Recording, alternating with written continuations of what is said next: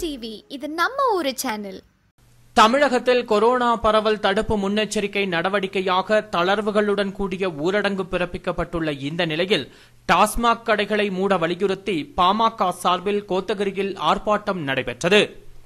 தமிழகம் முழுவதும் கொரோனா நோய் தொற்று பரவலை கட்டுப்படுத்துவதற்காக கடந்த ஒரு மாதத்திற்கும் மேலாக முழு ஊரடங்கு பிறப்பிக்கப்பட்டிருந்தது.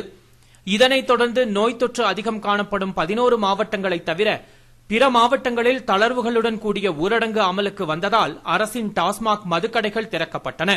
இதன் காரணமாக மதுப்பிரியர்கள் அதிக அளவில் மதுக்கடைகளில் குவிந்து வருவதால் மீண்டும் நோய் தொற்று பரவும் அபாயம் ஏற்பட்டுள்ளதாகவும் கொரோனா பேரிடர் காலத்தில் திறக்கப்பட்டுள்ள அரசின் டாஸ்மாக் மதுக்கடைகளை மூட அரசு நடவடிக்கை எடுக்க வேண்டும் என்பதை வலியுறுத்தி கோத்தகிரியில் பாட்டாளி மக்கள் கட்சியின் சார்பில் அக்கட்சியினர் தங்களது வீடுகளின் முன்புறம் ஆர்ப்பாட்டத்தில் ஈடுபட்டனர். இதன் ஒரு பகுதியாக கோத்தகிரி அருகே எஸ். கைகாட்டியில் இன்று காலை நடைபெற்ற ஆர்ப்பாட்டத்திற்கு அக்கட்சியின் மாநில துணை பொதுச் செயலாளர் செந்தில் தலைமை வகித்தார். இதில் அக்கட்சியினர் உரிய சமூக இடைவெளியை பின்பற்றி கலந்து கொண்டு நோய் தொற்று கட்டுக்குள் வருவதற்குள் டாஸ்மாக் மதுக்கடைகள் திறக்கப்பட்டதற்கு எதிர்ப்பு தெரிவித்தும் திறக்கப்பட்ட டாஸ்மாக் மதுக்கடைகளை உடனடியாக மூடவும் தமிழகத்தில் பூரண மதுவிலக்கை கொண்டுவரவும் மாநில அரசை வலியுறுத்தி கண்டன கோஷங்களை எழுப்பி ஆர்ப்பாட்டத்தில் ஈடுபட்டனர்.